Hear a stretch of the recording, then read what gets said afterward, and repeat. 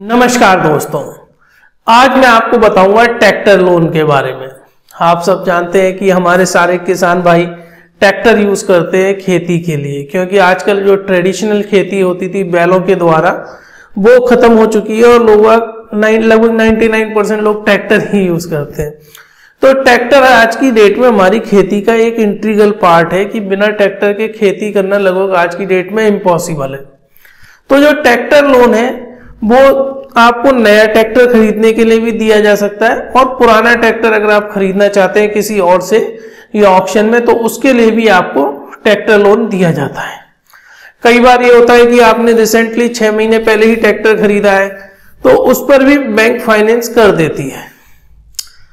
अब जो जो मिनिमम जो एलिजिबिलिटी है ना, वो 21 साल की उम्र होनी चाहिए किसी भी किसान भाई को अगर ट्रैक्टर लेना है तो।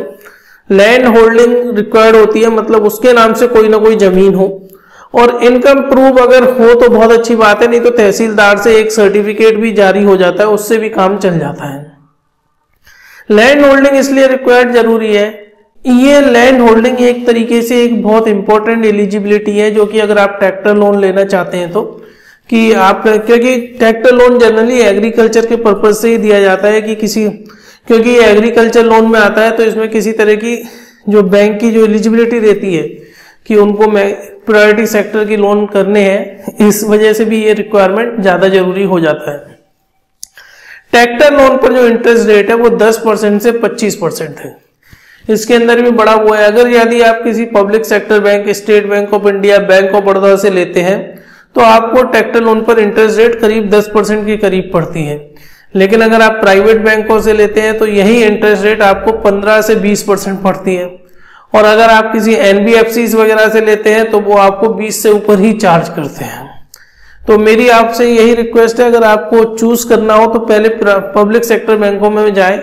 मैं मानता हूँ थोड़ा मुश्किल होता है वहाँ से लोन लेना, लेकिन आपका इंटरेस्ट बच जाएगा। मार्जिन 15 परसेंट दस percent fifteen percent twenty percent इस तरह रखा जाता है। एवरेज मार्जिन 15 परसेंट होता है। मार्जिन का मतलब ये हो गया कि अगर आप ट्रैक्टर पाँच लाख का खरीद रहे हैं तो उसमें 15 परसेंट पैसा आपका होना चाहिए और बाकी का पैसा बैंक फाइनेंस कर सकता है।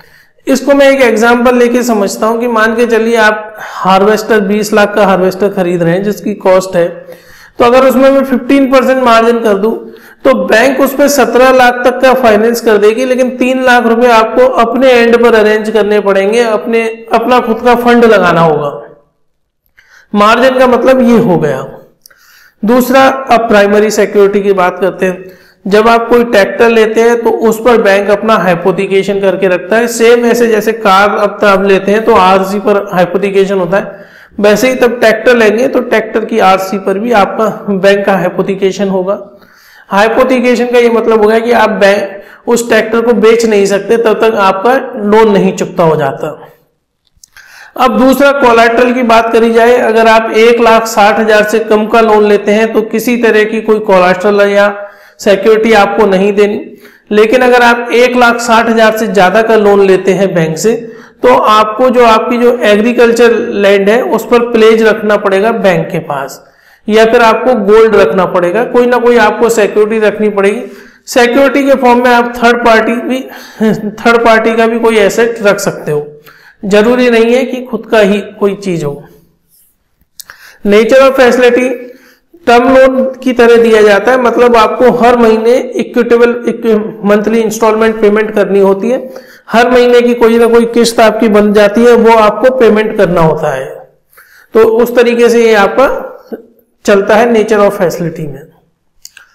लोन अमाउंट की बात करें तो जनरली बैंक कम से कम एक लाख का लोन देते हैं और मैक्सिमम लोन की कोई लिमिट नहीं है क्योंकि जो ट्रैक्टर लोन है, उसके अंदर हार्वेस्टर या कंबाइन हार्वेस्टर ये सारी चीज़ें भी कवर हो जाती है। तो कोई स्कोप नहीं है कि स्कोप बहुत है कि कितना हाइयर इंटरेस्ट कितना हाइयर प्राइस उसका जा सकता है। टाइम पीरियड मैक्सिमम बैंक पाँच साल तक के लिए अलाउ करते हैं। कुछ कुछ केसेस में बैंक एक दो साल बढ़ा भी देते हैं अलग क्योंकि हर बैंक की अपनी अलग अलग पॉलिसी है, लेकिन ऑन एवरेज आप देखोगे तो पाँच साल का टेन्योर में आपको मैक्सिमम मिल सकता है लोन रीपेमेंट के लिए। अब बात करते हैं सिविल स्कोर सिविल स्कोर आपका बाकी में अच्छा होना चाहिए। अगर मान के चलिए आपका सिविल स्कोर अच्छा नहीं है, आपने कोई पुराना केसीसी डिफ़ॉल्ट कर रखा है तो पब्लिक सेक्टर बैंक तो आपको लोन देगा नहीं।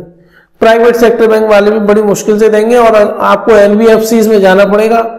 एनबीएफसी में जाने का मतलब है 25 से 50 परसेंट के बीच में इंटरेस्ट रेट लेना।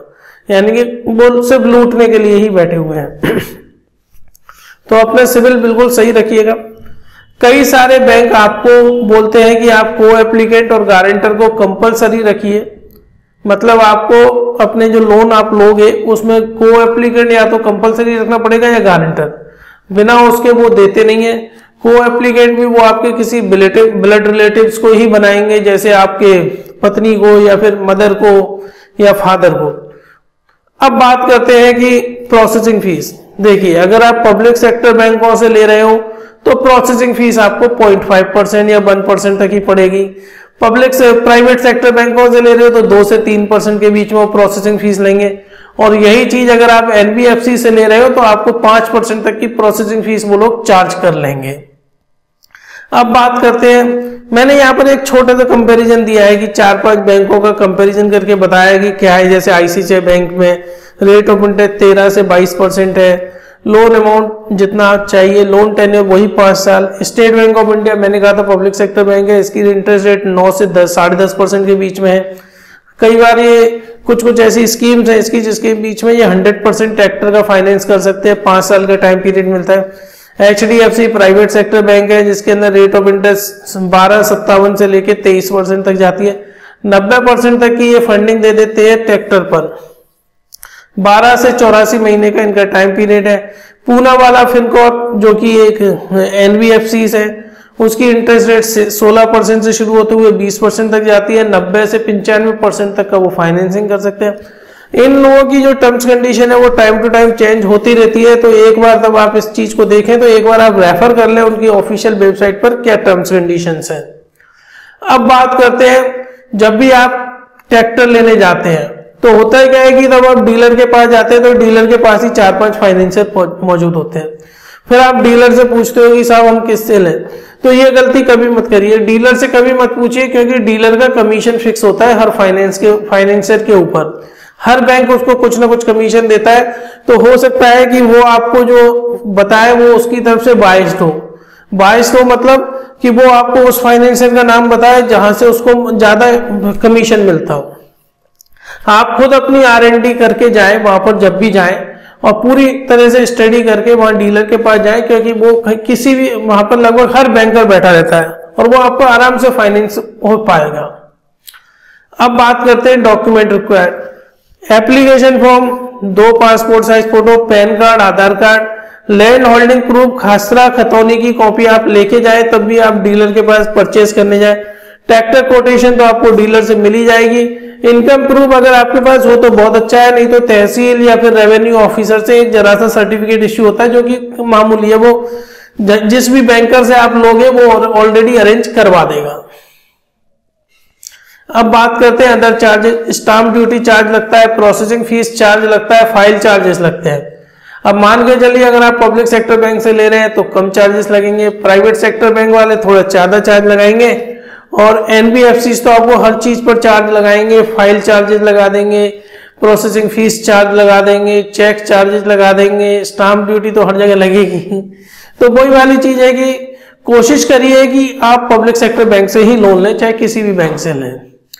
अब बात करते हैं pre closure penalty pre closure penalty में भी वही क्राइटेरिया है कि ज़ीरो परसेंट से लेकर पाँच परसेंट तक की पेनल्टी लगा दी जाती है। कई बैंक ऐसे होते हैं जो कहते हैं कि साल भर अगर आपका लोन चला, उसके बाद आप क्लोज करा सकते हैं तो कम पेनल्टी लगेगी। इस तरीके से जब आप लोन लें तो पहले देख लें कि पेनल्टी कब कब लगनी है फोर क्लोजर चार्ज पर और कितनी लगेगी। तो फ्रेंड्स मुझे पूरी उम्मीद है आपको मेरा वीडियो पसंद आएगा प्लीज़ मेरा वीडियो आप अपने व्हाट्सएप ग्रुप पर शेयर करें और मेरा चैनल सब्सक्राइब करवा के रखें बैंकिंग रिलेटेड इन्फॉर्मेशन के लिए। Thank you friends